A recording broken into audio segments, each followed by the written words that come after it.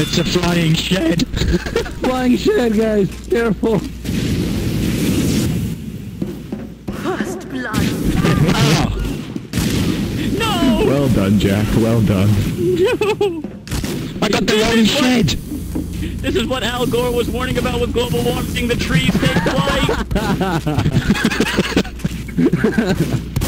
And the pyros have nothing to do with that. oh God! Oh snap. Now the lumberjacks can't reach their trees. Oh no. There are so many flares. Ah, get away!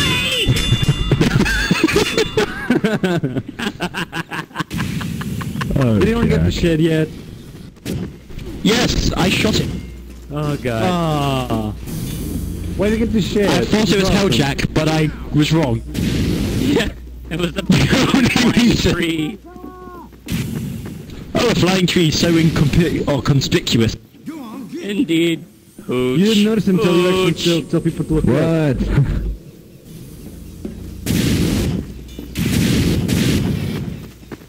Ah! To pyro or not to pyro? no, slap me away. Damn it. Right, there goes Hooch. Damn it, Jack.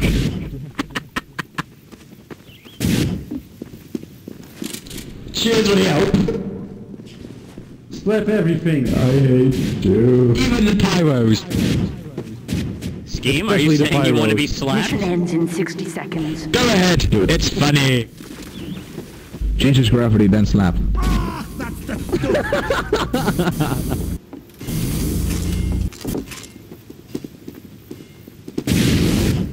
Try and slap him out of there. It's funny that the people who disguised as actual snowy trees always survive in this, even though they show out. Yeah. Nobody ever finds them. Who was looking for a Smurfy in the middle of a forest? Mission ends in 30 seconds. Yeah, a snowy tree in the middle of the forest. So normal. I hear a medic. Oh, Jack, you should definitely slap Jenkin. Slap Jenkin. Do it. Okay.